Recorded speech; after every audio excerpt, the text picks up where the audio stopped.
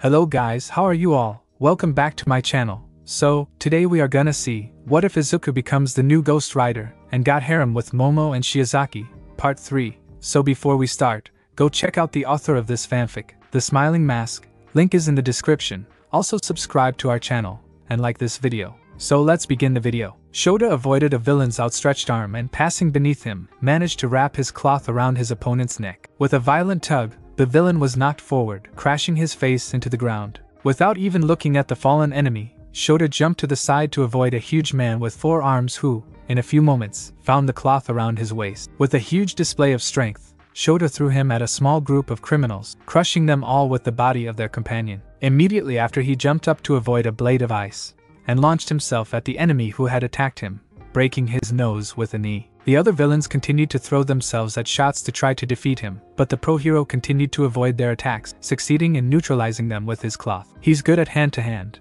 and those goggles hide his eyes, so we don't know whose quirk he's canceling. Said Kurogiri looking at the fight, even a whole mob of us isn't slowing him down. I see Eraserhead is really dangerous, as they say. I hate pro heroes growling Tomura scratching his throat with two fingers. Ordinary villains don't stand a chance against him. Kurogiri the brats. Understood. Kurogiri nodded before vanishing into thin air, surprising Shota who had just defeated another opponent. Where did he go? Thought Shota before hearing a scream from his students who were running toward the exit with 13 damn it. In the blink of an eye that guy may be the deadliest one here. With the class, 13 had the students stop when, in front of them, the villain made of black fog appeared from the ground, spreading out to the sides to block the passage. Greetings, we are the League of Villains. said Kurogiri with a calm voice forgive our audacity, but today we've come here to the UA, this bastion of heroism, to end the life of All Might, the symbol of peace. Most of the students widened their eyes in shock after hearing his words while the others looked at Kurogiri with narrowed eyes. We were under the impression that all might be here today, but it seems his schedule was revised. Well, no matter the tip of a finger of 13 opened.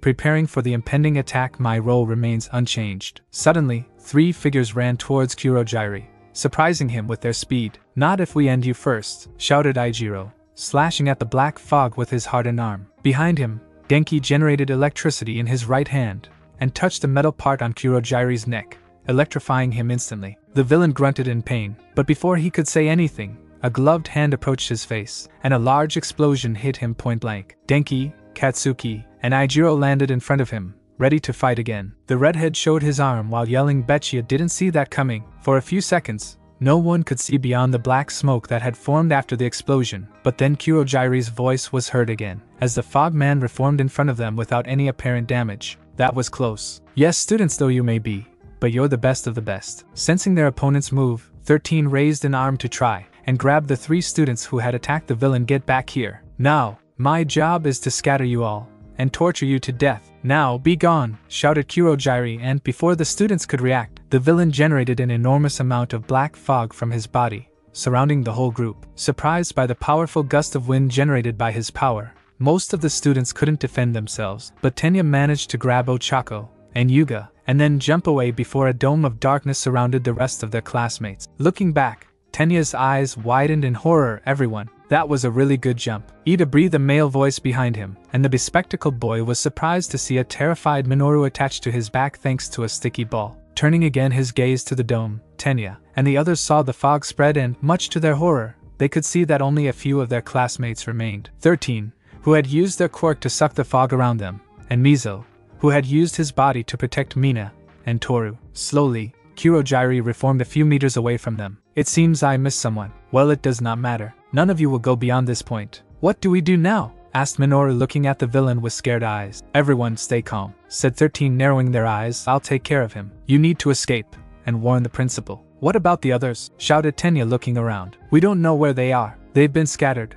but they're all in the facility, said Mezo, whose diply arms had turned into ears and eyes to look for their classmates. Mina looked back at Kurogiri. Physical attacks are no good. He just warps away. This guy's quirk is too tough to handle. Class Vice President, said 13 catching Tenya's attention. Yes, you need to go. The alarms haven't sounded, and the phones are not working. Someone is interfering with the system, and whoever is has hidden themselves well. That being the case, our best option is for you to go back and report what's happening here. Explained 13, still looking at Kurogiri who was waiting for them. I can't abandon my class with Dash. Just go, Ida, shouted Mina, cutting him off. With your speed, he won't catch you. There must be some alarms outside. If you can get out, he won't be able to follow you, added Mezo stepping forward. We will support you in the most elegant way, said Yuga with a wink. Just like in the cafeteria, nodded Ochako looking at him with firm eyes. We can, and we will provide all the support you need. Tenya clenched his fists, not knowing what to do. He couldn't abandon his classmates, but at the same time he could not stay there without doing anything. Ida, the voice of 13 shook him out of his internal conflict. Please, your quirk, save us all. Do it. Aside from the fact that you have no hope, Kurogiri said, advancing toward them. What sort of fool discusses strategy in front of the enemy? It hardly matters if you overheard, said 13, opening again the tip of their fingers starting to suck Kurogiri with their quirk. You can't stop us. You say so, but Kurogiri is not at all worried by his opponent's quirk. Before 13 could understand Kurogiri's intentions, a black portal opened in front of them, and another behind them. The students could only watch in horror, as 13 was torn to pieces by their own quirk, destroying their back and the back of their helmet, revealing a seemingly empty suit. 13. Looks like a disaster relief hero can't measure up to even the most ordinary of heroes when it comes to a fight, said Kurogiri looking at his opponent, and now you find yourself ripped apart by your own power. He warped me. I'm done for, thought 13 before collapsing on the ground. Ida, go, shouted Mina rushing to the side of 13. Tenya looked at them again for a second before running at full speed to the exit while cursing his choice. Kurogiri looked back at Tenya,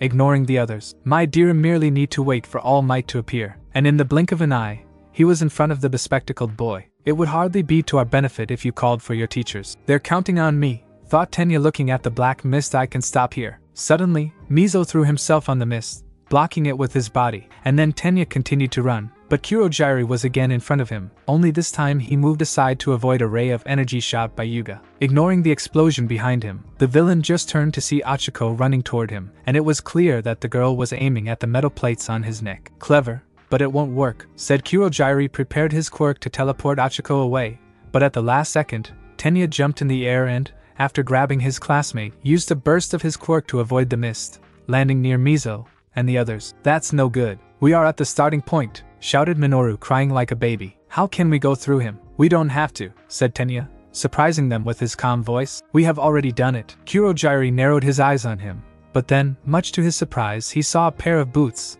and gloves on the ground, behind Mina. Looking back, he saw that the front door had been damaged by an explosion and was open. I see that blonde boy destroyed the door when I avoided his beam, and the invisible girl took the opportunity to escape. Said Kurogiri looked at the students who were now ready to fight him. If that girl warns the other teachers, it will be game over. I have to report what happened. And with that, he vanished into thin air. Where did he go? asked Minoru looking around. When he realized that Hagakure had managed to escape, he decided it was better to change tactics. He probably went to warn the other villains, said Mezo before looking at Tenya Ida. You should follow Hagakure. She's not fast like you, and we need the other heroes to be warned quickly. The bespectacled boy was about to retaliate, but now the situation was different, and since Kurogiri had gone away, his classmates could go to help others. With a nod, Tenya turned and ran out to go back to school and warn everyone else. What do we do now? asked Ochako looking at the others. Why are you even asking? We're going too. It's too dangerous here, shouted Minoru, earning an annoyed look from Ochako. Guys, the scared voice of Mina caught their attention, and Ochako, Minoru, Mezo, and Yuga could very well see the fear in her eyes along with the tears. 13 Sensei, he's not breathing. USJ, flood zone slash shortly before, after Kurogiri's attack, found himself in midair before falling onto the deck of a boat in the middle of what looked like a lake. Looking around, he saw bubbles coming out of the water, then followed by several villains in the form of fishes, divers, and so on, all their eyes focused on him. Oh, come on, there's only one brat, growled the shark man, showing his shark teeth. What a waste of time. Kill him. We need to hunt the others after this one, shouted another villain. Ignored them completely, and walked towards the ladder at the bottom of the boat while thinking they sent me here because they think I have the quirk of that bastard of my father? A big mistake on their part. Seeing him plunge his right hand into the water, all the villains swiftly swam to shoot to kill him, believing he was openly inviting them to attack him. And indeed they were right. Only that being attacked by all of them together was just what Shoto was hoping for. In just a second, all the water around the boat froze, blocking all the villains before they could hit him, and while many of them were still underwater, completely frozen, those close to the surface still had their heads out of the ice. Divide and conquer, eh? said Shoto looking at the frozen villains who were glaring at him. Forgive me for saying so, but it's hard to see you guys as any more than thugs with quirks you can't even handle. How can he be so strong? Is he really a kid? hissed the villain wincing in pain due to the ice. Shoto started walking on the ice, stopping in front of one of the villains who could still speak. At this rate, your skin will rot away from frostbite, but I'm trying to become a hero, and heroes don't do such horrible things. Leaning forward, he glared at the villain. What makes you think that you can kill All Might? Tell me the plan. USJ. Conflagration zone slash after Kurogiri's attack. Watch out, shouted Eijiro. And Denki ducked under the sword used by a villain before hitting him with his electricity. Damn, who the hell are these guys? asked the blonde leaning against Eijiro who blocked a fist from another villain before smashing him in the face knocking him out for good. Who the fuck cares? yelled Katsuki, raising two villains in his hands, both with bad burns on their faces. They are just a bunch of fucking flies ready to be blown away. I have the impression that he didn't understand the gravity of the situation, said Eijiro with a sweat drop. Who cares? There are more of them, shouted Denki, dodging another hit with Eijiro. But then that villain was smashed against the wall with an explosion. Out of my way, growled Katsuki, rushing toward another villain. Well, I can't let him do all the work. I wouldn't be a real man otherwise, said Eijiro, hardening his arms. Let's go, Kaminari. Eh? Well, wait. Oh, damn it. Not wanting to stay behind, Denki surrounded himself with electricity before jumping toward a new group of villains. USJ, landslide zone slash after Kurogiri's attack. It seems we were separated from the others, said Fumikage, looking at the various villains around him. Ah, looks like you're on your own, brat, chuckled the villain in front of him. Apparently, ours will be an easy job. You think so? asked Fumikage without missing a beat. So why don't you finish your job, since it is so easy? The villains narrowed their eyes, and three of them, behind Fumikage, jumped at him for the kill, but, at the last moment, out of his body came a shadowy figure that struck all three villains, crashing them to the ground. The other villains took a step back when the bird like creature turned toward them, showing its claws. Sorry to disappoint you, said Fumikage looking at the same villain, but I'm never on my own. Isn't it Dark Shadow? Creep, USJ, Downpour Zone slash after Kurogiri's attack. Ribbit. I would have preferred the flood zone, but even this one shouldn't cause me any problems, said Tsuyu ignoring the rain and the wind. Koda. The boy looked at Momo who was pointing an arm at him, as the villains around them were getting closer and closer. A long steel stick and a large shield emerged from her arm, and Momo handed him the shield. I know you're not a fighter, so please, watch our backs, okay? Me and Ajri will protect you. Koji nodded hesitantly and took the shield, placing it on his left arm, as the villains laughed at them. Ah, she thinks that a shield will help them. Time to teach you a real less GH. The villain was abruptly interrupted by Tsuyu's tongue, which twisted around his throat before dragging him to the trio where Momo hit him in the face with her steel staff, causing him to lose consciousness. As the class president, it is my duty to protect my classmates, said Momo spinning the steel staff in her hands. I will not let you hurt them, Ribbit. I guess Midoriya and Todoroki made the right choice when they voted for you. Mumbled Tsuyu standing on Momo's right while Koji was behind them, a timid smile on his face, as he was nodding. Thank you, Ajri.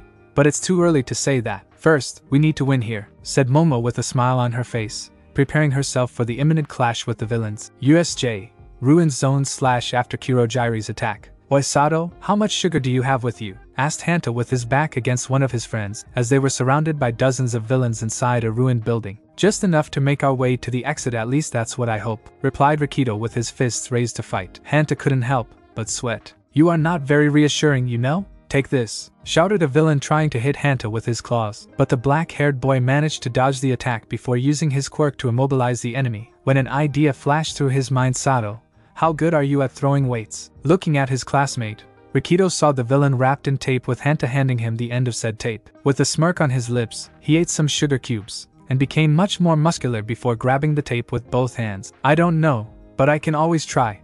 And with his strength threw the enemy at the others, thus defeating at least half a dozen of villains. Alright, let's clean up, and then let's get out of here, shouted Hanta shooting his tape at their enemies with Rikido right behind him. USJ, Mountain Zone slash after Kurogiri's attack. Stand still, you bastard! shouted a villain trying to stab Mashirao before being hit by his tail. Jiro, I'm ready! The purple haired girl looked turned in his direction just when he jumped away, and all the villains in front of her were struck by a powerful sound attack that forced them to cover their ears to avoid becoming deaf. However, when the attack ended, they couldn't recover in time before being hit by Mashirao's tail, which crushed them to the ground without any difficulty. I got you! Screamed another villain behind Kyoka trying to stab her with two knives but spinning on her heels she hit him with her earlobes using them like whips, sending him against two of his comrades. Mashirao landed behind her. Looking at the other enemies I counted at least 30 still standing. 15 for each of us, we can do it, said Kyoka. But before she could attack another villain, The whole USJ shook for a few seconds, followed by a sudden heat wave, alarming everyone inside. An explosion? asked Mashirao, looking around before seeing the shocked face of his classmate. What's wrong? Something happened in the sandstorm zone. It was Midoriya, USJ, sandstorm zone slash after Kurogiri's attack. Flames and sand danced in the wind, as the only two fighters left in the area continued to fight ferociously, trying to end the battle. Even though their fight had been going on for several minutes, neither Izuku nor Flint showed signs of weariness. Steaming craters surrounded them, obvious signs of Izuku's powers, and what remained of the other villains who had found themselves in the wrong place at the wrong time. Although he focused exclusively on the enemy with the sand based quirk, Izuku hadn't spared the other villains, killing them one by one before they could escape from his flames. Meanwhile, Flint had tried several times to stop the flaming skeleton, but, as far as his destructive power was concerned, the Sandman was clearly at a disadvantage, and the only reason he had managed to survive for so long was the huge desert area in which they were fighting. With a demonic roar, Izuku flung his chain to hit Flint, managing to wrap it around his right arm, but, almost instantly, the whole arm became simple sand, knocking down the chain and the sickle. Izuku growled in exasperation. Since they had started fighting, he hadn't yet managed to hurt his opponent permanently. The mere brute force had been useless, as Flint could become sand at will.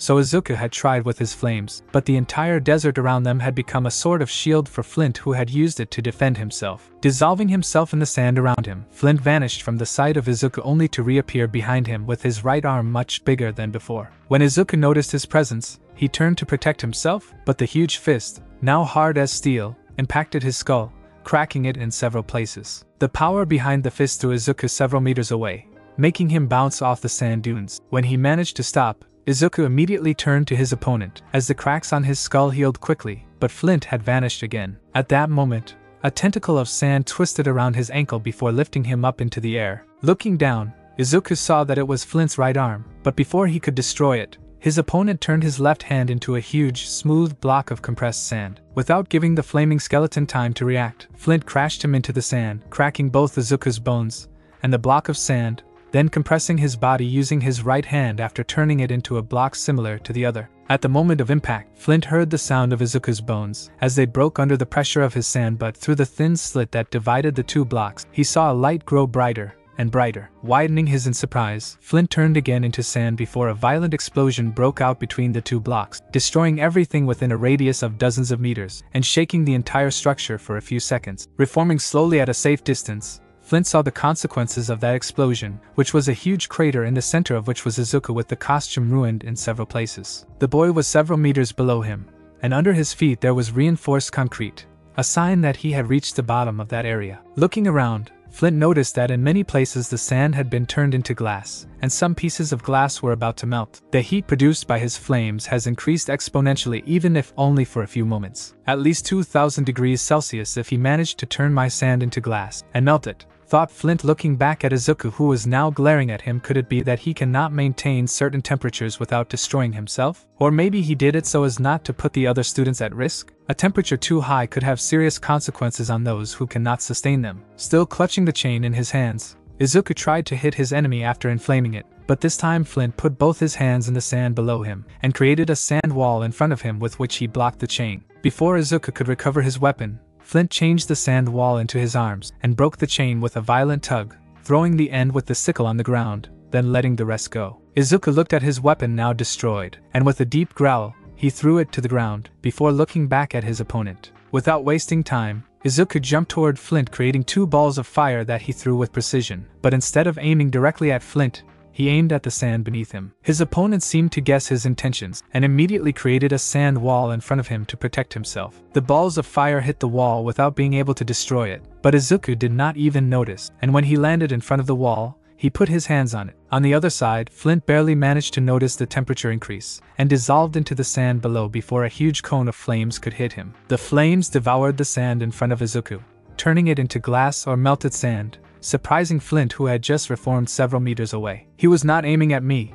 but at the sand. He must have understood that the less sand there is, the less strong I am, thought Flint with narrowed eyes. I must end this fight quickly. Sensing Flint's presence on his right, Izuku turned to face him, but a huge sandblast hit him in the face, sending him into the air. Before he could react, Flint started to hit him with a long series of attacks from different directions without letting him fall to the ground. After he managed to launch Izuku upward with his face turned towards the ceiling, Flint stopped him before piercing his chest with several blades of compressed sand, breaking his rib cage. However, he immediately saw that the sand in Izuku's body had already been destroyed by the flames, so he decided to move on to something more drastic. Destroying a sand tentacle with an explosion of flames, Izuku found himself with his chest wrapped in the sand, and a moment later, the sand began to pull in two different directions. In spite of the complete absence of flesh on his bones, a grisly sound echoed in the air when Flint broke Izuku in half, throwing his waist and legs to the ground, but holding his upper body in midair using his right arm. Without wasting any further time, Flint used his left hand to grab Izuku's skull and began to squeeze it while trying to tear it away from the rest of his body. However, this prevented him from noticing that under them the ground was starting to overheat more, and more thanks to Izuku's powers, until the flaming skeleton managed to generate violent flames that surrounded them in an instant. Flint stared down for a moment, then looked back at Izuku, and though he no longer had eyes, Flint was sure his opponent was staring at him. Before he could defend himself, a huge column of flames rose upward, engulfing the two fighters. The flames were dispersed within a few seconds, but in the end, what remained was a perfectly regenerated Izuku with his skull still tight in Flint's hand, who was now completely turned into glass. Without even trying, Izuku shattered Flint's hand and turned to leave, but after a single step, his gaze landed on the ground below him, where he saw fragments of glass moving to a point behind him. As soon as he saw those fragments, a glass blade pierced his chest from behind, lifting him slightly off the ground. Turning his head slightly, Izuku saw that Flint had not been defeated. And indeed, he was still fighting even though he had become glass, but most of his body was slowly coming back to be sand. With a slight growl, his flames melted the blade of glass, and Izuku turned again to face his opponent, hitting him instantly with a violent blaze before Flint could turn entirely into sand. His flames, however, didn't diminish in power, and continued to burn Flint until he was completely dissolved, leaving only a steaming puddle on the vitrified soil. Izuku stared for a few seconds at the puddle, ignoring the sand around him that was moving in a certain direction. You can create all the clones you want, but I know you're still here. An imposing shadow obscured Izuku and the surrounding ground, as a slight tremor shook the entire structure. Slowly, Izuku turned to look at a huge humanoid made entirely of sand, and as tall as an eight story building. Despite the absence of color and facial details, Izuku knew full well that the giant was Flint. The Sandman looked down at his opponent, raising his right arm. Izuku stood on the spot waiting for the blow, and, when the huge hand hit the sandy ground, a violent shockwave threw tons of sand into the air,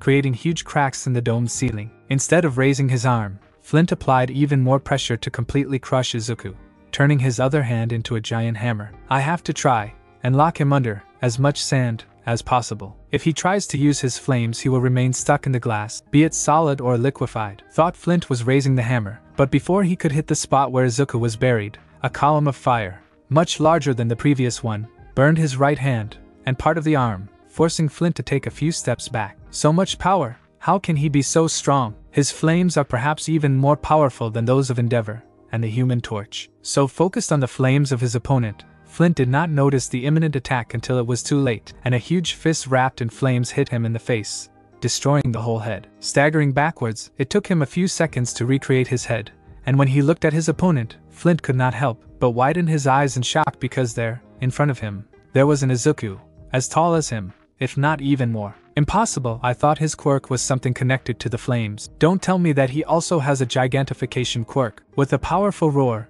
Izuku took a step forward, shaking the entire area before throwing a ball of fire at Flint, hitting him in the chest. The Sand Colossus seemed to ignore the attack and, recreating his right arm, turned it into a hammer like his left hand. Using all his strength, Flint tried to hit Izuku with both hammers to crush his skull, but Izuku raised his arms using his forearms to defend himself, and the impact generated two powerful shock waves that made the area tremble even more, causing many debris to fall from the ceiling. With his arms busy, Izuku tilted his head back before throwing up a huge amount of flames on his opponent. The heat combined with the power of the attack greatly weakened Flint, who was now reaching his limit, and the sand present around the two giants was being consumed in large quantities by both the flames of Izuku and the quirk of Flint, who was using it to regenerate his body. Feeling the weakening of his opponent, Izuku used his strength to wipe away Flint's arms while creating a ball of fire in his right hand. The Sandman then tried to concentrate most of the sand to recreate his left arm and defend himself, but Izuku also disintegrated that last defense to thrust the ball of fire into the body of the Sand Colossus. In a violent explosion of flames, the entire sandstorm zone was virtually destroyed, causing the ceiling to collapse and damaging the entire USJ, which shook for several seconds. At the end of the explosion and subsequent devastation, Izuku was enveloped by his flames before returning to his original height. Looking around, the flaming skeleton seemed to concentrate on a large pile of debris that was thrown away in a few seconds. Looking down, he saw the defeated form of Flint, whose body was only partly still whole, since his legs and right arm were missing, but there was no sign of regeneration for the time being. The man stared at his opponent with heavy breathing, barely opening his eyes due to the light produced by the flames, but this did not prevent him from seeing Izuku for what he seemed a demon. With no energy left to fight, Flint closed his eyes as he saw Izuku raise his right arm, preparing for his imminent end. But no attack came, and a whistle was heard in the air. Confused by that sound, he opened his eyes again only to see Izuku with two fingers between his teeth, as if he had just whistled. In a few seconds, a roar was heard in the distance, and shortly after a flaming motorcycle came to the back of Izuku, stopping a few inches from him. Without waiting a second, Izuku turned to his vehicle and climbed into the saddle, but Flint's voice prevented him from leaving immediately. Why? asked the man, raising his head. Why not kill me? You, Izuku said before turning around to watch him one last time innocent. Surprised by his words, Flint could only look at Izuku with confusion as he drove his bike to the edge of the sandstorm zone, soon fading from his sight. Feeling the weariness grow ever more oppressive, Flint rested his head on the ground, closing his eyes slowly. Am I innocent? Soon after, unconsciousness prevailed over him. USJ, downpour zone slash after Kurogiri's attack. Momo couldn't help but curse when a villain managed to open a cut on her arm with a dagger, making her bleed profusely. A new wound that was added to the list of wounds received since she found herself in that hell with her classmates. Behind her, Koji was barely conscious on the ground with a nasty wound on his belly, and his blood-stained hands trying to stop the bleeding, while Tsuyu was at his side to protect him in case some villain managed to get past Momo, the only one to keep them at bay at the exit of the alley where they had taken refuge. In the last few minutes, the situation had degenerated to extreme levels. After a first moment of apparent victory, the villains had exploited Koji's situation to attack him. Neither the seismic shocks that had shaken the area nor the sudden heat wave had served to make them run away, and when one of those villains had managed to stab Koji, the situation had worsened further. I don't know how long I can go on with this. I'm running out of energy, and there are still at least 20 enemies. Thought Momo was hitting a villain in the face with her staff, but at that moment another criminal succeeded in grasping her staff before kicking Momo away, causing her to fall to the ground. Time for some payback, bitch said the villain with a huge grin. We'll have some fun with you, and that frog girl before killing you. The villains behind him rejoiced at his words, but soon the screams of many of them turned into shouts of terror and fear. The villain who had struck Momo up turned to see what was happening, and the last thing he saw was a dart of flames flying towards his face. Momo, see you and a very pale Koji could only watch in silence, as all the villains were reduced to heaps of ashes by fire attacks, and seconds later, a motorbike wrapped in flames passed in front of the alley without stopping, heading towards the center of the USJ. Ribbit, that bike whispered to Tsuyu looking at Momo. Was it Midoriya? I think so, said Momo looking at the piles of ash, as they were washed away by rain and wind before focusing on another problem. No time for that. Koda is still injured. I will create gauze and painkillers. Ajri help me. While creating the necessary medications, Momo couldn't help but look back at where she had seen the motorcycle pass. Was it really Midoriya? He killed them so easily without hesitation as shiver ran through her back, making her tremble, and the young girl couldn't tell if the cause was the rain, the wind, or something else. USJ Central Plaza slash meanwhile. Fear and horror were the only things Shoto could think of, as a chilling sound of broken bones was heard in the air. In front of him, a few meters away, his teacher was crushed to the ground with both arms broken in several places. The huge Nomu with the bird's beak made a sharp and inhuman sound while behind him Tomura watched everything with a hidden grin. Meet the anti-symbol of peace. The bioengineered Nomu. He snapped my arms like twigs. Looking at any part of his body should be enough to nullify him. Thought Shota gritting his teeth in pain that means this is base strength. He's easily as strong as All Might. Canceling out quirks is pretty cool, but nothing special. Said Tomura walking toward Shota against something like Nomu you might, as well be quirkless. I have to think about something, but I'm pretty sure thought Shota looking at the second Nomu behind Tomura that the other one will do something. As soon as I tried to intervene, and just when he was about to attack with an area attack, Kurogiri reappeared behind Tomura. Kurogiri, is 13 dead? He's incapacitated, maybe dead, but there were some students I couldn't warp away. One of them escaped. Oh? Tomura looked back at him scratching his neck Kurogiri. I'd turn you to dust if you weren't our ticket out of here. We don't stand a chance against dozens of pros. It's game over, man. Game over for now. Looking away, he added, We're leaving. They are leaving? thought Shota with a raised eyebrow they did all this mess to kill All Might. And then they leave just like that. What's wrong with these guys? But before that said Tomura catching his attention, which soon turned into anxiety when Tomura looked right at him. Let's leave at least one dead kid in a burst of incredible speed. He was in front of the boy with his right hand a few inches from the face of Shoot to wound the pride of the symbol of peace. Wah dash! Shota couldn't say anything that Tomura's fingers touched his face, but strangely nothing happened. After a few seconds of silence, the villain slowly turned to Shoto, noting his bright red eyes. You really are a pretty cool Eraserhead. The Nomu who kept Shota firmly crushed his head in the ground, but those few moments of distraction were all that you needed to create several spikes of ice in front of him. However, Tomura avoided them all with a leap backward. Trying to hit him again,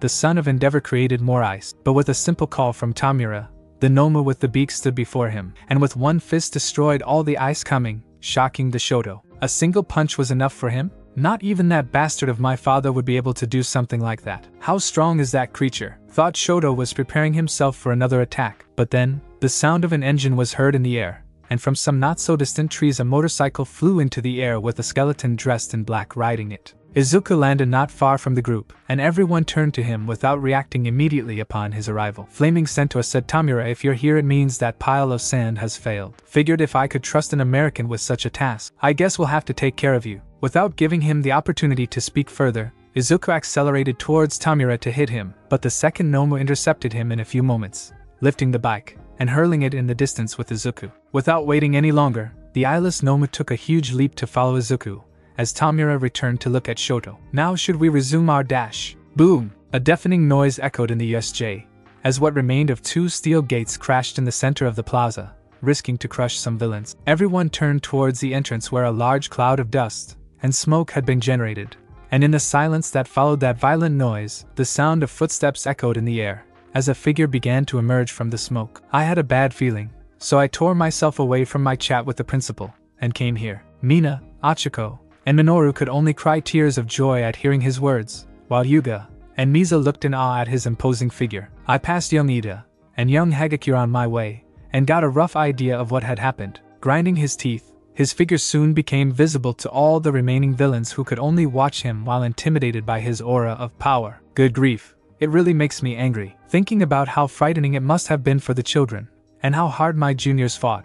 But that's why I must proudly say, slamming a foot on the ground, thus creating cracks in the floor, he tore off his tie with brute force. It's fine now, I am here, all might, cried Ochako, wiping away her tears while the villain stepped back from him. It's really him. It's my first time seeing him in person. He looks so intimidating. A all might, the desperate voice of Mina caught his attention. But then, he saw the unmoving form of 13T13 Sensei Hihi. Widening his eyes, All Might quickly approached the hero on the ground, looking in horror at the wounds they had suffered. 13 was not like most people, as they didn't have a real body, and their suit had been specially designed to allow them to move freely. But now that the suit had been almost completely destroyed, 13. Slowly, All Might placed a hand near the base of their helmet to feel the equivalent of a heartbeat that, in the case of 13, was equivalent to a kind of faint vibration that could be felt by touching his suit. Upon touching the suit, All Might felt nothing. What lay in front of him was only an empty suit. 13, the space hero, was dead. A dark silence fell on the small group, as All Might kept staring at 13's suit, his face shadowed by the overhead lights. All Might? whispered Mina, feeling suddenly frightened by the presence of the hero in front of her. Everyone. His voice made them shiver instantly, and both Minoru and Yuga stepped back unconsciously. Stay here. And with those words, he vanished into thin air, surprising the students. A moment later, screams of pain rose in the air, and they barely had time to look in the plaza, where All Might had already wiped out most of the villains, who fell to the ground with broken limbs. He gently took Shota in his arms. Sorry, Aizawa. I was too late. Turning to Tomura and the others, a sudden blue glow lit up in his eyes, and a moment later, Shoto found himself at his side with the unconscious Eraserhead, as the hand on Tomura's face fell to the ground, as if it had been hit by someone. Young Todoroki Dot said All Might caught the attention of the student. Go to the entrance. I'm leaving Aizawa to you. He's unconscious. Hurry! Looked at him with a worried expression. All Might. That villain with the beak he destroyed my ice with just one punch. He is probably as strong as you. Young Todoroki. All Might didn't look back, preferring to keep his eyes on Tomura Go. Settling Shota over his shoulders, the student nodded to the hero and ran off to the entrance leaving All Might alone. Meanwhile, Tomura had bowed to pick up the hand that covered his face, placing it slowly where it was before. Throwing punches to save people, ah, that's our state sponsored violence, said Tomura, slowly turning toward All Might with a sick grin. You're fast. Too fast to keep up with, but not as fast as expected. Could it really be true? That you are Dash? The words died in his throat, and his grin vanished from his face. As soon as he saw the expression of All Might, who was still glaring at him. What is this? Thought Kurogiri looking at the hero with a shiver running down his back. For that mission, they had prepared themselves to the best of their abilities to face All Might, learning all that was possible about him, and one of the things that everyone knew in the world was that he always smiled. Except at that moment. His face was a mask of fury and rage, and the black scare of his eyes did nothing but make him even more menacing. A violent column of flames rose to the sky behind them, and Kurogiri did not even have to turn around to understand that it was Izuku dealing with the other Nomu. We managed to get rid of Flaming Centaur for the moment, and now All Might is here. Looking once more at the hero's face, Kurogiri couldn't help but whisper a few simple words. We traded one demon for another, before crashing to the ground, after being thrown into the air by the Nomu. Izuku managed to turn the motorcycle in midair so as to land on the wheels. The impact generated a violent shock wave, and the ground below cracked heavily, but he didn't even seem to notice it. Raising his head slightly, Izuku saw the Nomu who had thrown him away from the central plaza land a few meters away, generating an equally violent shock wave. Nomu immediately turned to Izuku and lunged at him to try to hit him with a fist, but Izuku tilted his head to the side, thus avoiding the blow, before hitting his opponent with a violent uppercut to the chin. A chilling noise of broken bones rose in the air when Nomu's head ended with the chin pointing to the sky, its neck now broken. However, in a matter of seconds, the Nomu returned to look at Izuku, as if it had never been hit, and instead tried to crush Izuku with both hands closed like a mallet. Izuku crossed his arms over the head to protect himself, and when the Nomu hit his arms, a violent shock wave uprooted some of the nearby trees from the ground while Izuku, and his bike created a small crater below them, with the bike that seemed to growl through the engine due to the pressure. Suddenly stretching out his arms, Izuku managed to repel the enemy, making it step back before hitting the creature in the chest with a ball of fire. The explosion that followed through the Nomu was several meters away while Izuku dismounted from the bike and approached his enemy, which was already getting up, albeit with a nasty burn on its chest. With an inhuman roar, Nomu tried to hit Izuku again with a fist, but he simply raised his hand, and caught the fist. Some of his bones cracked due to the impact, but Izuku simply tightened his grip on the fist, and Nomu tried in vain to free itself, continuing to pull with its arm. Meanwhile, Izuku silently watched the creature in front of him, almost interested in what he was sensing that is, nothing. That humanoid thing was almost devoid of soul, an empty shell. He could feel remnants of its soul and sins, but they were very feeble, as if the mind and soul of that thing, before becoming such, had been distorted, and destroyed by an external force. The Nomu managed to free itself at that moment by sacrificing part of its arm that remained in the hand of Izuku, not at all disturbed from what had just happened, as the arm of the creature would grow back in a few moments. Like a mindless beast, Nomu tried again to hit the flaming skeleton with a fist, but this time Izuku grabbed its arm before throwing his opponent to the ground. The creature didn't have time to get up again, so Izuku put a foot on its chest as he held his right hand pointed straight up. Without hesitation, he punched the head of the Nomu with a fist wrapped in flames, and in a few moments a huge column of fire was generated around them, slowly consuming the monster who howled in pain, trying to escape. But Izuku didn't let it go, and in a few seconds, the Nomu's howls of pain ceased, as its body was slowly turned into ashes. A few seconds later, with only one movement of the arm, the flames dissipated, and the remains of the Nomu crumbled on themselves while Izuku had already turned to return to his motorcycle when a small seismic shock caught his attention, and, not far away, he saw some trees thrown into the air. Slightly lowering his gaze, Izuku saw a large cloud of dust grow with the passing of seconds, and whatever had raised it, it was coming towards him. USJ, Central Plaza slash shortly before. Nomu, Tomura's cry was all that the Nomu with the beak needed to shoot forward and intercept the All Might fist, which had immediately aimed at the young boy. The pro hero, however, struck Nomu in the chest, but the creature didn't seem to suffer any damage and tried to grab All Might by the arms, but he jumped back. No damage at all, thought All Might with narrowed eyes before looking for a moment at Tomura. If I want to reach him, I need to deal with this thing first. And without hesitating, he tried to defeat the Nomu with a quick series of punches to the head, but none of them seemed to have an effect on the creature. Seeing that All Might wasn't able to defeat Nomu, Tomura seemed to regain confidence in his plan. You scared me before, I thought you would have defeated my special bioengineered weapon in an instant, but instead you aren't able to.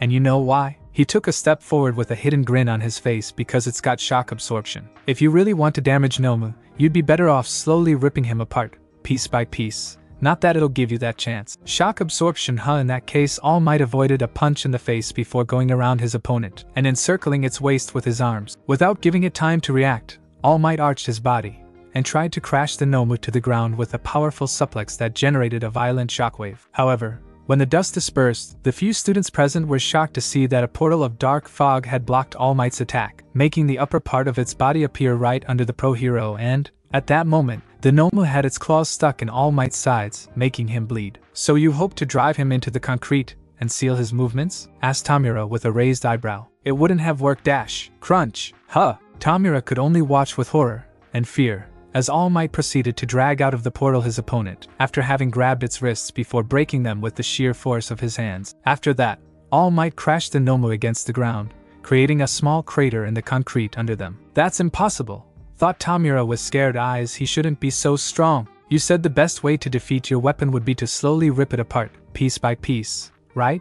asked All Might, looking straight at Tomura. If it were not in a hurry, I might even consider your suggestion. TCH, don't think you've won just because you broke its wrists. Nomu was created to defeat you, shouted Tomura with his voice filled with rage and, at that moment, the Nomu stood up, his wrist already regenerating see? This is its hyper-regeneration. As I just told you, Nomu was specially created to fight and defeat you. All Might stared at the creature in front of him with a strange light in his eyes a biological weapon created to defeat me, equipped with quirks suitable for the purpose. It's not possible to obtain a similar result with simple science. This is certainly his work, but his thoughts were suddenly interrupted when three blurs darted towards Tomura and Kurogiri. Two of them, who were Denki and Eijiro respectively, tried to hit Tomura from behind, but the villain managed to avoid them both by jumping, landing at a safe distance from the two students. On the other hand, Kurogiri wasn't so lucky, and Katsuki managed to hit him with an explosion near his head, succeeding then to throw him on the ground with one hand pressed against the metal parts on his neck. You slipped up, you bastard, said Katsuki with a huge grin on his face while Denki and Eijiro moved near him. As I thought, that dark fog serves to hide your physical body. Now, try doing something fishy, and I'll blow you straight to the kingdom come. That's not very hero like you know, muttered Denki with a sweat drop. Not only have you defeated our associates, but you're all at full health, said Tomura, looking at the three students. Today's kids really are something. Our League of Villains should be ashamed. He then glanced at All Might. He's aiming at me, as if I were the final boss. If we don't recover Kurogiri, we won't be able to leave here. If I send Nomu to retrieve him, I won't have more defenses. But if what is said about All Might is true, noticing his gaze, all Might couldn't help but narrow his own eyes. He's plotting something. Nomu. Tomura's voice was calm despite the sick grin hidden by the hand on his face. Take out the explosive brat. We need our escape route back. In a blink of an eye, the Nomu sprinted toward Katsuki, who couldn't even see it move, with alarming speed, but All Might managed to follow it with his eyes. Fast, Nomu's first hit the mark, and a violent wave of wind swept away all the surrounding trees while its target was thrown several meters away. But Tomura had his eyes pointed in another direction,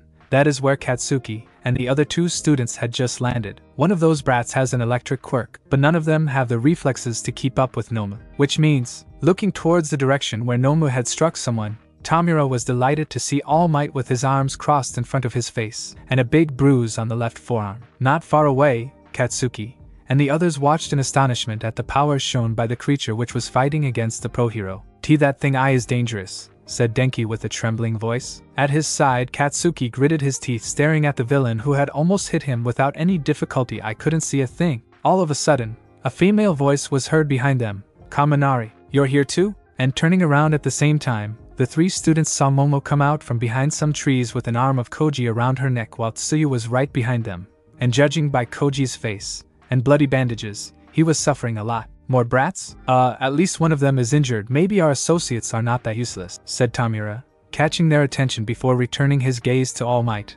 And it was at that moment that he noticed a detail first hidden by the dust raised by Nomu's blow. A demonic motorcycle with its rider a few meters from it, and his gaze was fixed on Tomura. His heart began to beat faster, as his eyes first looked at the form of Izuku, and then noticed the complete absence of the second Nomu. This isn't good, all Might is still standing, and that damned flaming centaur must have killed the other Nomu. Tomura looked at his two opponents, but while Izuku was focused only on him, All Might turned his head to watch the blazing form of his student. Young Midoriya, you seem to have lost control again, thought All Might before moving his gaze on Nomu. And Tomura, I need to end this fast, before the situation gets worse. However, Tomura seemed intent on making things worse with Kurogiri, Nomu, slow down those two while I take care of the brats. Now reinforcements will be here in moments, and will be game over. Before leaving, however, I want at least to leave some corpses at the feet of the number one hero. The three villains dashed at the same time. All Might could see from the corner of his eye that Izuku had already jumped onto his bike, probably to launch himself on the attack, while the six students targeted by Tomura were trying to get ready to defend themselves. Everything seemed to go in slow motion, while All Might himself was preparing to face the Nomu again. But then, it's fine, Tomura, you can stop now. Out of nowhere, a strange ink like liquid appeared behind the three villains, starting to fill with bubbles and growing in quantity to create a sort of vertical puddle from which came that deep, metallic male voice. Someone slowly began to come out of that liquid, and in a few moments, a person dressed in dark clothes entered the central plaza. He was tall, almost as tall as All Might, and the black suit was of little use to hide his imposing figure, but what caught the eye was his black skull like mask with angular pipes at the top, and a strange large collar around his neck. He did nothing, simply remaining motionless on the spot, but it was more than enough to unleash a wave of fear and terror that hit the whole USJ. From the bravest of the students to the most cowardly villain, all of them were frozen by fear, eyes full of terror, and mouths open in silent screams. All they could see, all they could feel, was their imminent end, a slow and brutal end, as reflected in the visions caused by that wave of pure malice and cruelty. The man just raised his head, looking at the hero not far from him. We meet again, All Might said Hero narrowed his eyes so you're finally back, all for one. On the road to the USJ slash at the same time, a huge yellow and black vehicle, which could be compared to the union of a bulldozer and a monster truck, was advancing at full speed along the road to the USJ, leaving behind signs on the asphalt. This thing can't go faster? asked Midnight, looking at the back of the cockpit. It was designed to be used on rough terrain, not on a paved road, shouted back Power Loader while driving the vehicle. If I accelerate even more, I would risk destroying the asphalt. Midnight huffed before crossing her arms to the chest, watching the other teachers currently sitting behind the cockpit, inside a comfortable trailer with chairs. The only one who wasn't seated in a chair was Nezu, the principal of UA, currently sitting on Vlad King's legs, as he listened again to Toru and Tenya, the two students who had returned to school to warn them of the villain attack. A quirk able to warp so many people, said Nezu shaking his head. It's a pity that a person with such a rare quirk has decided to become a villain. Now is not the time to think about those things. We must first of all take care of the safety of the students, said Recovery Girl with a stern face. I just hope there are no serious injuries. If I remember correctly, there is a well equipped infirmary at the USJ. We could use that for any injured, proposed Cementoss sitting in front of her. Yes, that could war dash. She stopped mid sentence, gripping her cane tightly. Toru and Tenya, both sitting near Vlad King, noticed how the atmosphere had suddenly become darker and tense. All the teachers had their eyes wide open, as if something had caught them off guard. This feeling growled at Vlad King. Yes, there's no doubt. It's him, said Nezu with a nod before looking toward the cockpit power loader. We need to reach the USJ as soon as possible. I'll deal with any complaints about the asphalt. Roger that. Hold on tight back there, shouted the driver, and a few moments later everyone felt an increase in speed. Yuum Principal Nezu said to Toru with a weak voice Whom were you talking about? The small humanoid animal side I would rather not talk to you about this. But if it goes like I think, you'll soon understand. Tenya looked at his classmate with worried eyes, feeling that Toru was doing the same with him. What the hell is going on? USJ Central Plaza. Sensei? murmured Tomura looking at the masked man with surprised eyes. What are you doing here? You can't move with that body. Don't worry, Tomura. I'm not here to fight with All Might but simply to take you home. Said all for one with a calm voice. Flaming Centaur's unexpected presence is a factor that alone could ruin your plan. Good thing I sent an eye to observe the situation. As if his words had triggered something, Izuku rushed towards all for one, remaining on one wheel for a moment before gaining speed, but the villain didn't seem at all troubled by his action. Kurogiri, sent to him on the other side of the square, said all for one still with his calm voice. Without objecting to his orders, Kurogiri took a step forward and, when Izuku was a few meters away, opened a portal in front of his motorcycle. Izuku couldn't stop in time and crossed the portal, finding himself on the other side of the square. Realizing his new position, he immediately turned the handlebars, braking at the same time so as to make his bike drift. When he finally managed to stop, Izuku looked at all for one, a threatening growl rising up his throat. So he's really a student? You should start teaching him something about prudence. All might. If your teacher could see you now, what do you think she would say? asked All for One, and a note of mockery was distinguishable in his voice. All Might clenched his fists with anger before crossing the arms in front of his chest. I don't know why you made your return today, but I don't care. If I let you escape, it would be an insult to 13's memory. Oh, so you killed 13? asked All for One, with a vaguely surprised voice. Yes, I used his quirk against him. However, I didn't stay to make sure of his death. Dot explained Kurogiri with a nod. It's a pity. His quirk was rather special, but his strength was the result of a lot of training and a lot of experience in using it. Said all for one his quirk would not have served my purpose. Carolina. All Might dashed forward to hit all for one, destroying the floor behind him. But when he was about to hit his opponent, the masked villain raised his hand, and his fingers turned into strange little black tendrils that immediately wrapped around the chest of All Might, preventing him from ending his attack. Before throwing him onto Izuku, who had again tried to reach them with his motorbike. The impact knocked Izuku away from his bike, with All Might ending up on top of him. But before the hero could move, Izuku abruptly pushed him away with his arm before getting up again. With a demonic snarl, he created flames around his arms, which then turned into metal chains wrapped in fire. Much to All Might's surprise, and with a wide movement of his arms, he whipped the air, aiming at All for One with the chains that stretched out of all proportion. But his enemy raised a hand once again. An interesting trick, but let me show you mine now. And with that, he snapped his fingers. For an instant, nothing happened, but then the area in front of him was hit by a violent wave of air that broke the chains to pieces, leaving deep gashes in the ground before reaching Izuku, shredding his costume as well as his bones, as if he had been hit by an infinite number of sharp blades. Izuku, now without both arms and half skull, fell to the ground on his back with a loud thud while All Might and the students watched the scene with shocked eyes. Air cutter plus air propulsion plus 5 air boost quirks plus controlled output. Said all for one, lowering his hand, a nice combination which allows me to unleash thousands of powerful blades of wind in a demarcated area in front of me. Sensei, did you defeat him? asked Tomura, looking at his teacher in awe. After a couple of seconds, all for one uttered a single word no. What Ash? His arms are growing back. Noted Kurogiri looking at the form of Izuku with narrowed eyes. Not only can he use fire, but he also has super regeneration, growled Tomura. He's cheating. Now one could say that I am cheating too, said all for one however it is time to go. Kurogiri if you could. With a nod, the villain opened another portal, and the Nomu entered it, followed by Tomura while the masked villain looked at All Might it seems that today won't be our last meeting. However, I want to go leaving you with a choice. He raised both arms, pointing them in different directions before they both grew bigger, as if they could not contain his power. The son of the number two hero, Endeavor, or the heiress of the Yaoyorozu company? Who will you save? All Might's eyes widened in disbelief, while his mind realized that all for one's left arm was aimed at the small group of students not far from Izuku while the other arm was pointing the top of the stairs leading to the central plaza, where there were other students together with Shota. This isn't good. Even with my speed, I won't be able to move them all before they get hit. With that one thought in mind, All Might faded into a burst of speed just as All for One released the power contained in his arms. Outside the USJ slash a few seconds earlier, Power Loader's vehicle stopped abruptly, as everyone else was already leaping out, and then rushing toward the entrance to the stadium with Nezu and Recovery Girl sitting on Vlad King's shoulders. The first to reach the entrance was Present Mic, who entered screaming, All right, we need Tio Dash. But his voice was overwhelmed by a deafening roar, followed by a violent gust of wind that threw the heroes to the ground, as well as the students close to the stairs, causing panic among them. For a few seconds, they all stood on the ground, groaning in pain with a sharp whistle in their ears.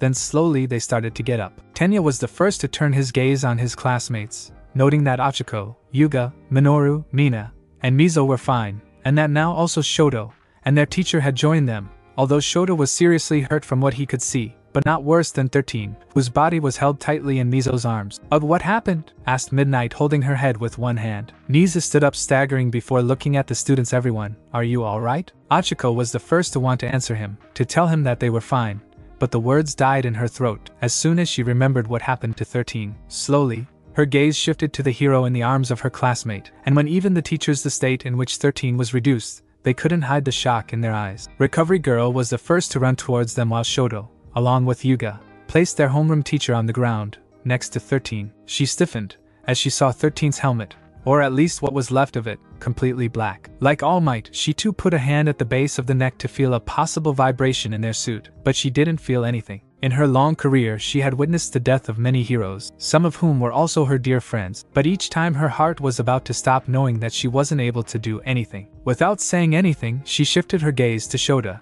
noting how his injuries, though brutal, weren't lethal, at least not if he received medical attention quickly. Vlad, come here, and help me to fix his arms. They are broken, said the old heroine with a firm voice while the man knelt at her side. Oh, what about 13? shouted Midnight, pointing at her fellow hero but Recovery Girl merely shook her head. There is nothing that I can do now. We arrived late. Midnight opened her mouth to reply, but stopped when Ectoplasm put a hand on her shoulder, shaking his head. Holy. Present Mic's voice caught their attention, and they saw that he was at the top of the stairs, intent on observing the situation below. Slowly, most of the teachers approached him along with the students, and what they saw shocked them even more. The place had been reduced to a wasteland. The pavement had been completely swept away along with all the surrounding trees. On the right, slumped against some destroyed trees, there were Katsuki, Tsuyu, Momo, Denki, Eijiro, and Koji, all of them with various wounds on their body. Not far away, there was Izuku with his body turned into a flaming skeleton intent to regenerate his wounds, but what surprised them most was on the other side of what was once the central plaza. A tall man dressed in a black suit, and a mask of the same color covering his face was standing with his arms outstretched. Behind him, there was a strange black fog that was changing shape, assuming a vaguely humanoid shape, while in front of him was All Might. The pro hero had both fists resting against the palms of the masked man's hands. His shirt was now tattered to show his body covered with wounds, but the worst were his arms, completely covered with cuts and blood. You never cease to amaze me, All Might. Throw yourself in front of me, and use two Texas Smash to counter my attacks without knowing what kind of attack I would have used. Said all for one with an amused voice since you were so driven to counteract my attack. I allowed myself to add impact recall too, so that I could use your strength against you. All Might glared at him before taking a step back, raising his arms like a boxer I haven't lost yet. All for one. Obviously, you haven't lost. We will have the chance to end our fight the next time we see each other, said the masked villain before unleashing a powerful shockwave from his own body, throwing All Might several meters away. Enjoy it, as long as you can, this transient piece of yours. All for one then turned to Kurogiri, telling him to open a portal, but before entering the aforementioned portal, he raised a hand to deflect three bullets aimed at his head. Looking at his side, he said, Save your bullets, Snipe. Such a weapon will never stop me. And with that, he entered the portal which closed immediately afterwards, taking with him also Kurogiri. At the top of the stairs, Snipe put his gun away. They managed to escape. Ignore them. We have more urgent problems at the moment, said Nezu, looking at the wasteland in front of him. Go, and look for the other students, and protect them. The police should arrive at moments together with ambulances. Present Mic, Sniper, Ectoplasm, and Midnight nodded before running away while Power Loader and Cementoss went to help All Might and the others, Principal Nezu. The little humanoid animal didn't move, still giving a sign to Hound Dog that he was listening to him. We have never been hit so hard. These villains are not like everyone else,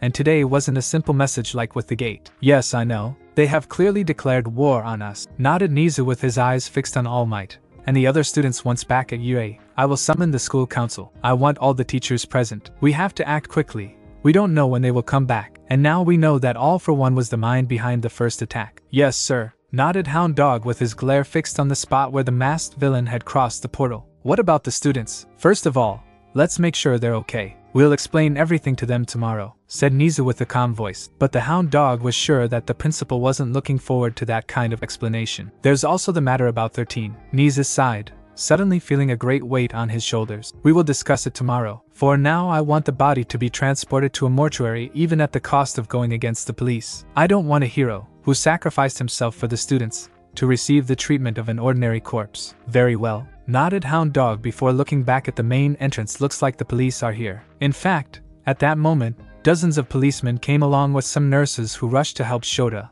and the injured students, while the policemen were preparing to arrest the unconscious villains. Unknown location. A portal of dark mist opened inside what looked like a large warehouse, and Tomura came out of it, along with Nomu, then followed by All for One, and finally Kurogiri. The young villain turned to his teacher to ask him something, but a female voice was heard in the air. Welcome back, honey. From above a large silo, a figure jumped up before landing a few meters from Tomura, revealing to be a young girl with brown hair that covered her left eye. Would you like a bath, a warm meal, or maybe me? Keen growled at Tomura looking at her. What are you doing here? Kaya Kayahaha, I'm helping Sensei to save your ass, laughed the girl showing her sharp teeth if it hadn't been for my bees. You would have been burned to ashes by flaming centaur. Why you? Calm down, Tomura, said All for One with a calm voice walking toward a door. He opened it, thus showing a small office full of monitors and a large chair in the middle. He took off his helmet and collar by placing them on a small piece of furniture before going to sit down, where he then stuck some small cords in his face, even if only his mouth remained on his face since his entire head was covered with scar tissue. He looked at Tomura. The presence of Flaming Centaur is an unexpected factor, and we should have given more credit to the news of those journalists. But now what is done is done. It does not make sense to cry over spilled milk. Tomura,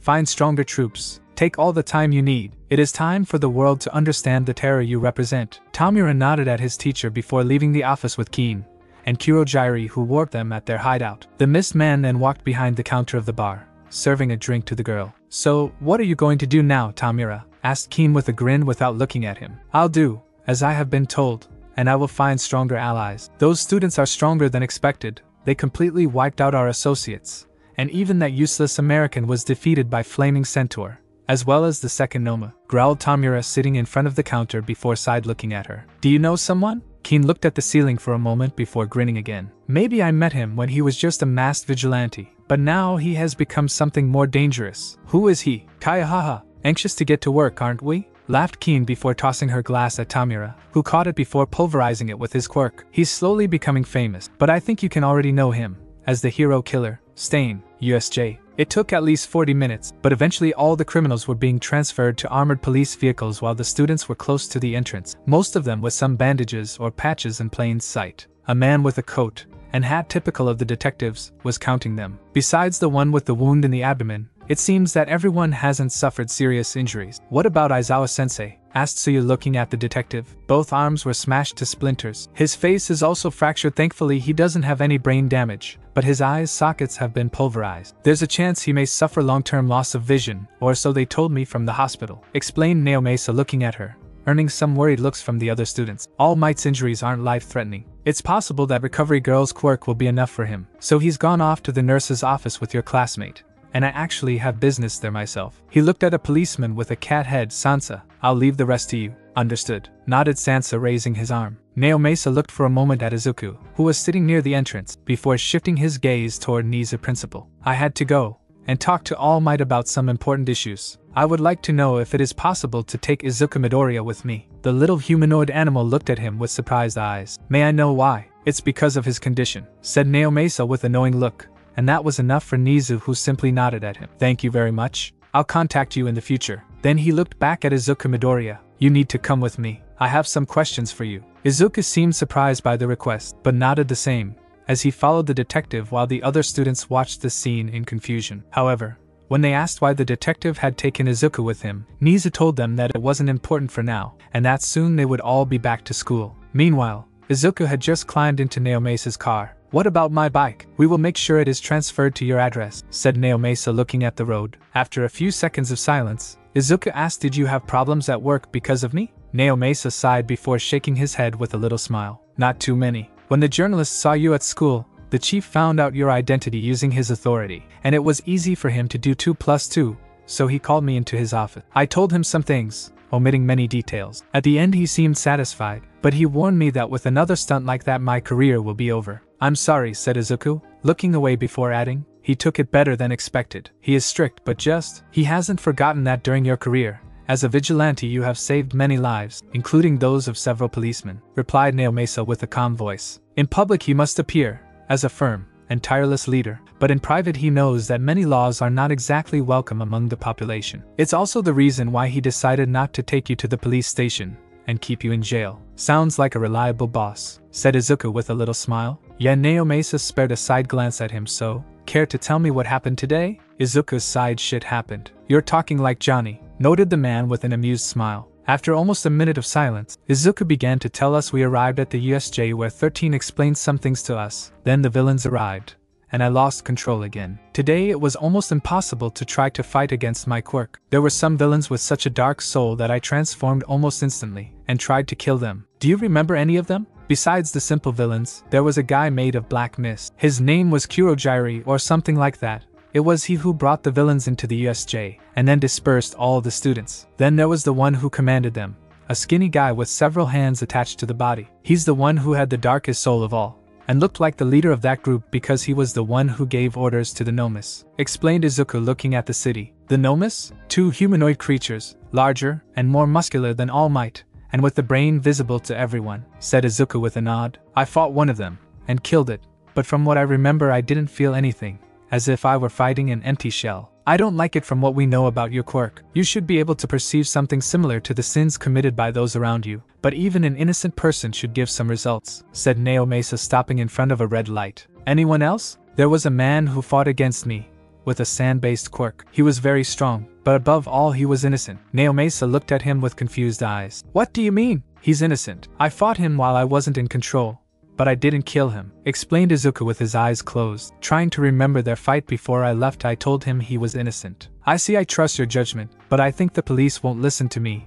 especially after what happened with 13. Any judges will propose an exemplary punishment for all those we have arrested today, sighed Naomasa driving toward Izuku's school. I know it just seems strange to me that an innocent person decided to help those villains. If I remember correctly, he said he was doing it for his daughter, but I could be wrong. Sighed Izuku, and in a few minutes Naomasa stopped the car in front of the main school gate. The two of them walked for a couple of minutes until they reached Recovery Girl's office, and the detective opened the door apologizing for the intrusion. Lying on a bed with several bandages on his arms, there was All Might in his weak form, intent on staring at the ceiling. At his side, Recovery Girl was writing something on a piece of paper before turning to them. Oh, welcome. I guess you're here to talk to All Might, said the old heroine with a little smile. While Naomasa nodded, Izuku looked around before asking where's Koda? Shouldn't he be here? He is resting in the next room. He needs to sleep and it's better to leave him in silence with two little animals that I let in. Apparently, they calm him, explained Recovery Girl. So, how are you doing, All Might? Asked Naomasa with a smile, walking toward the hero who looked at him with a grin. Could be better, said All Might before shifting his gaze to Izuku. How are you feeling, young Midoriya?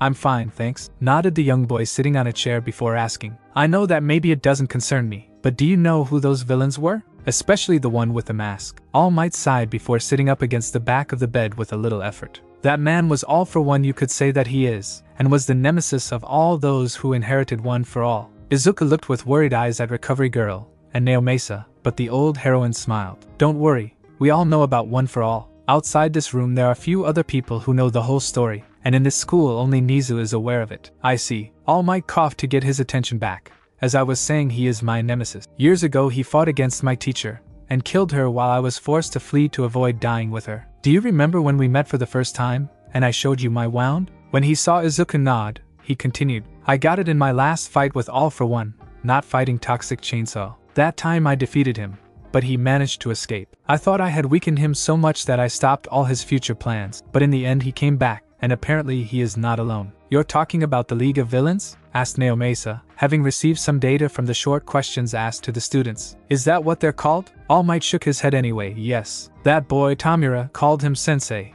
And from what I've seen, all for one wanted to help him, so I'm inclined to think that Tomura is a form of pupil or student. There are also these Nomus. Izuku told me that he fought against one of them before killing it, but the second one said Naomasa gesturing to Izuku. I fought against the one with the beak, and trust me, it was really strong. It could resist my blows, and possess the ability to regenerate at an alarming rate. It must be a creation of All for One, said All Might with a grim face before looking up at Naomasa. What about Aizawa? How is he? Probably in the operating room. His wounds are not lethal, but his head and arms have been severely damaged. Explained the detective if you three heroes hadn't put your lives on the line, I don't know how it could have ended. We still lost 13. He went down like a hero, while protecting students under his custody, said Recovery Girl with a calm, but sad voice the funeral will probably be tomorrow morning. All Might shook his head, sad for losing a friend and fellow hero. Before looking at Izuku young Midoriya, we need to talk. What? asked Izuku, raising an eyebrow. Maybe about his own quirk, about one for all. That was unexpected. What? Why, young Midoriya? As you have surely noticed, I am no longer the hero of the past. With each passing day, the time limit for my heroic form is shortened, said All Might with a serious voice while looking at the young boy today. I didn't push myself over the limit because All for One intervened before I could fight at full power against that Nomu, but I still suffered some damage, especially in the arms, and now I'm not able to fight for at least a couple of days. He sighed again. What I'm trying to say is that now that he is back, our last fight could be very close. Although he showed his strength today, I'm sure he's not 100%, just like me. So your next fight will be the last one, whatever happens? Most likely that's why I need to find a successor for One for All. So that in the worst case, someone else will be there after me. The hero looked for a moment outside the window. That's why I would like you to be the temporary holder of One for All. Izuku looked at him with confusion. He was about to say no, since they had already discussed it in the past. But the temporary part was new. What do you mean by temporary holder? All Might raised a finger. There are some aspects of my quirk that I have to explain to you. First of all, in order for the baton to pass successfully, both sides must be in favor. To get one for all, you have to assimilate my DNA inside of you. But if you were against the idea, nothing would happen even after having assimilated my DNA. Same thing for the reverse case. He raised the second finger. The second part that I haven't explained to you before is that if you accepted to get one for all, you wouldn't automatically become the ninth holder of this quirk. Izuku continued to look at him in confusion, not understanding how such a thing was possible. Do I have to do something specific to become the ninth holder? Midoriya, he looked at Recovery Girl. You know that One for All is a quirk that allows you to stockpile your power along with the previous owner's power, right? He nodded now look at this. The old woman showed him a transparent vase with some flowers inside, then took a small pocket of water used for transfusion. Gently, she placed the bag of water inside the vase. Now, Imagine being the vase while the water bag is one for all. Said Recovery Girl, Do you think that the water inside the bag will help the flowers stay hydrated? Izuku shook his head no, because it's inside that little bag. That's the point, said All Might, pointing at him. To become the ninth holder of one for all, and then stockpile your power to the whole, you'll first have to use one for all at least once. With the first use, you will officially become the holder of one for all, while I will remain with some leftovers with which I can continue fighting for a while,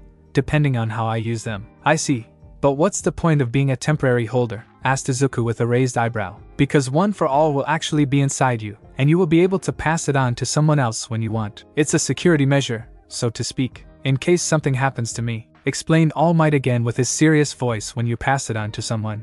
Without ever using one for all, that person will become the ninth holder as long as they use this quirk. Izuku nodded, having understood All Might's reasoning in wanting to entrust his quirk to him. I guess I can do that. For a moment I thought you wanted me to become the ninth holder. No, in the past you told me that you didn't want to inherit my power, and I can't force you to change your mind. It's not my style, said All Might while shaking his head. The young boy nodded again, but then a doubt made its way into his mind. What about my own quirk? You know that sometimes I lose control of my own body. What would happen if I used one for all while I'm not in control? I don't think you will use it, said All Might with a calm voice from what I've seen and heard. Your quirk is unique and extremely powerful. When you are in control, you still cannot use its full power while when you lose control, we haven't yet met someone who could stop you. Today, All for One managed to damage you, but you were already regenerating immediately after being hit. I have the impression that none of us really saw the true power of your quirk. That's why I don't think you'll get to use one for all because in the end it's a quirk that makes you stronger physically.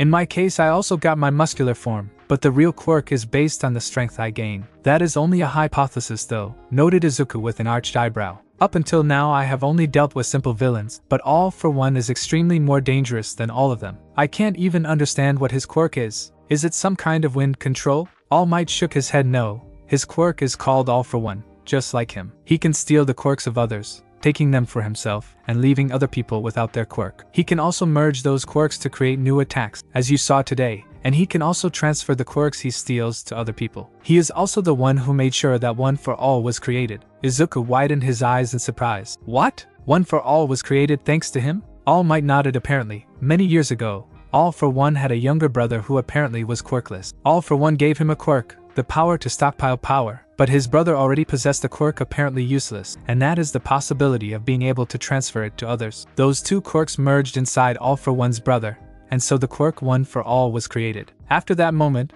that quirk has been handed down from generation to generation, gaining more and more power. It's a bit hard to believe, don't tell me, chuckled Naomasa when he told me the whole story, I was tempted to test him to see if he was drunk. Izuku smiled at his friend before looking back at All Might. Are you really sure about this choice? Aren't there any other candidates to inherit one for all? No, for now there are no other possible candidates, but maybe during the UA's Sports Festival I will find someone suitable, said All Might.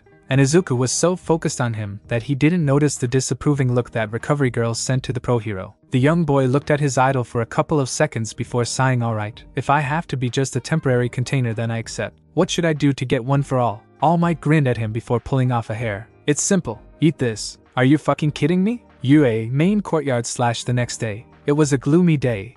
Clouds full of rain covered the sky, and thunder was heard in the distance. The entire school had gathered in the main courtyard, where a large photo of 13 stood on a wooden stage surrounded by white flowers. In the first row, there were all the teachers and staff members, behind them, the first year students of all the courses, then those of the second year, and finally those of the third year. All of the students wore school uniforms with a black band around their arms, while the teachers were dressed elegantly, but in dark colors, except for Shota, who was still in the hospital. Classes for the day had been cancelled for every course, and the teachers would then move to the place of the actual funeral, away from any journalist. As the first drops of rain began to fall, Nezu slowly climbed onto the stage, watching all the people gathered in front of him. As you have probably already heard, yesterday something unexpected and terrible happened. During a lesson at the unforeseen simulation joint, the Class 1A of the Hero course was attacked by a large group of villains. Their aim was to kill All Might, but that didn't stop them from creating chaos and trying to kill the students. He paused for a moment. The criminals were defeated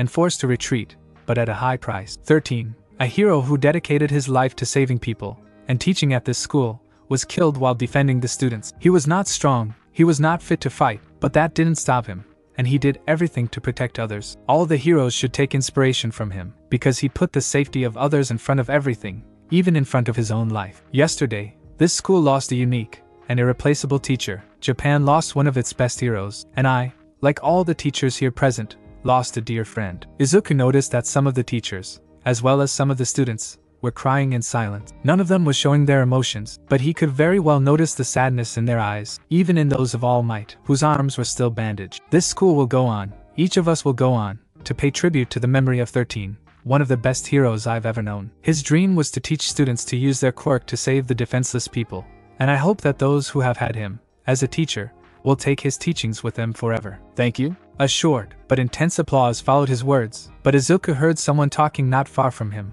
where the classes of general studies were. I heard that those in the 1A were the first to attack, and that's why 13 died. Flaming Centaur is in that class, right? In my opinion, they attacked to take revenge on him. I still don't understand how they could have admitted him here. Izuku slowly clenched his fists without saying anything. As far as he knew, it could also be true, but from his memories, all those villains were terrified of him, and Tomura wanted to kill All Might, but nothing gave the right to those students, who weren't present during that hell, to talk about it. Behind him, Momo noticed his gesture before looking at him with worried eyes. A little while later, when the crowd had dispersed, and the students headed home, Izuku was standing in front of his motorcycle wearing a black leather jacket over his uniform. Shaking his head to chase away some thoughts from his mind, he started to put on his helmet when a voice surprised him from behind. Midoriya? Turning around to see who had spoken, he was surprised to see Momo walking towards him with an umbrella, probably created with her quirk. Yaoyorozu? What are you doing here? I wanted to talk to you. I hope I didn't disturb you, said Momo looking at his helmet,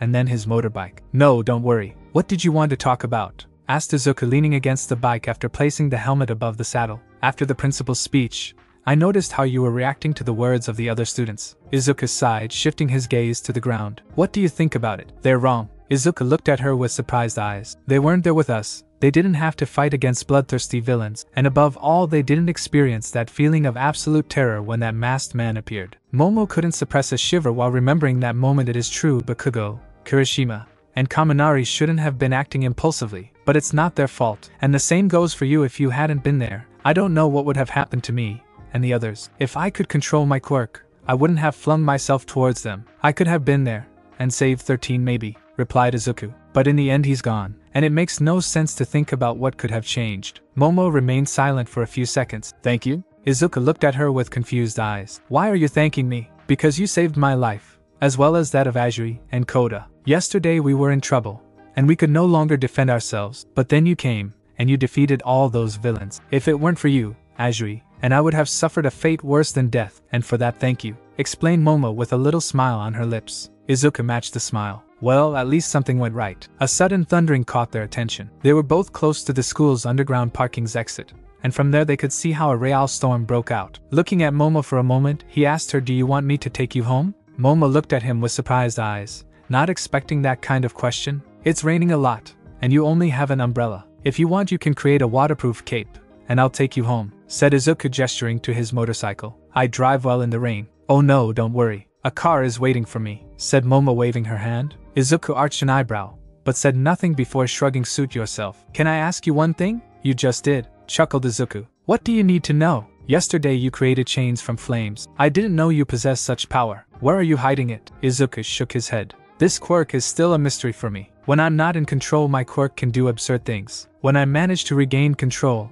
I remember slowly what happened, and apparently I can even become a giant. Momo looked at his shocked eyes. A giant? Yeah, I can change my size, like Mt. Lady, nodded Izuku. But I don't know how it is possible. I'll probably try to understand it in the future, as I will try to create other chains. Since it looks like a power similar to your quirk, would you like to give me advice? Yes, I don't see any problem with that. Nodded Momo with a smile before showing a more troubled face. Will you lose control again? I don't know for years I kept training to control that aspect of my quirk, but sometimes I just cannot stop it, sighed Izuku, looking away. It's also one of the reasons why I didn't want to enter this school. I'm too dangerous. Do you know why you lose control? asked Momo, shivering a bit due to the cold wind. Izuku seemed to notice and, stretching an arm toward her, slowly opened his hand, creating a sphere of fire that began to heat her body slowly. She smiled at the gesture. Thank you, you're welcome, nodded Izuku. About your question, let's say that it's related to the wickedness of people. If someone extremely evil is near me, I might lose control. Momo seemed to think of something so the other day. Someone had appeared near the school. Izuku pointed with his free hand toward the exit.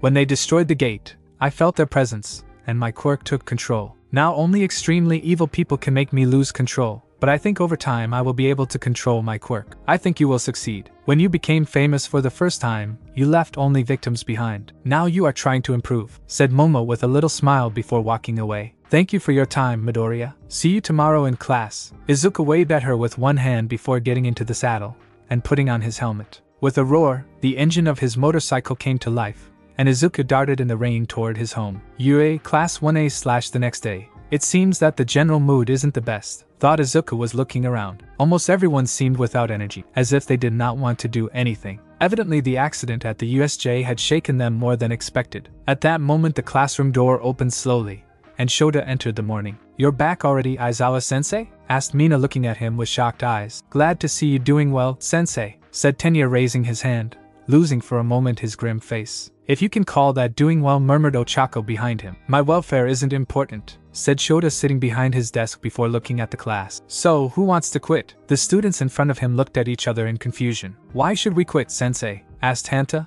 Because right now, I see people who have lost any desire to become heroes, replied Shota, confusing them even more. You are all probably shaken by what happened the other day, and you are right to be so. However cruel, as it may be, that's the real world. Out there, Heroes risk their lives every day, so if you think you can make fun of them by staying here just because you're students, it would be best if you left this school. Those words seemed to ignite a spark inside their eyes, but none of them spoke. Good. It seems that you are not ready to give up, not yet at least. Aizawa looked at each one of them. We'll see it soon, because your battle is not over yet. Our battle? You mean, more villains? shouted Minoru with a desperate voice. The UA's Sports Festival is fast approaching, said Shota, catching them off guard, and that's why the next two weeks will become a real hell for you. Why is that? asked Mina, and she wasn't quite sure she wanted to know the answer. Because by the principal's order, your classes on using your quirk will become more challenging. Normally, this point would be reached later in the school year, but after what happened the other day, it's better to anticipate. Explained Shota before adding it's time to strengthen your quirks. Thanks for watching my video,